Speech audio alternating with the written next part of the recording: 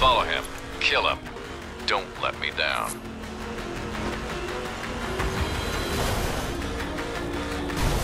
Zoe, I got a problem. Coburn wants me to kill him, man. If I don't, I think I'm next.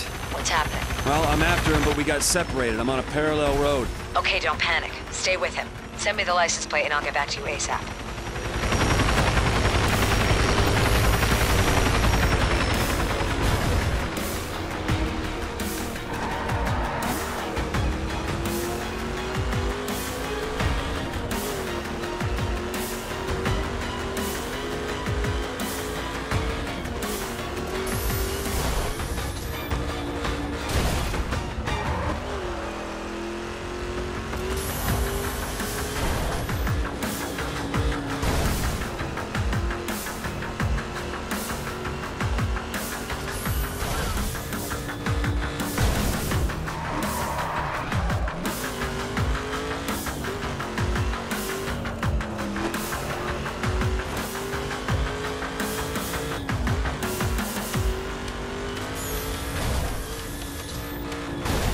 Alex, we've got an option here.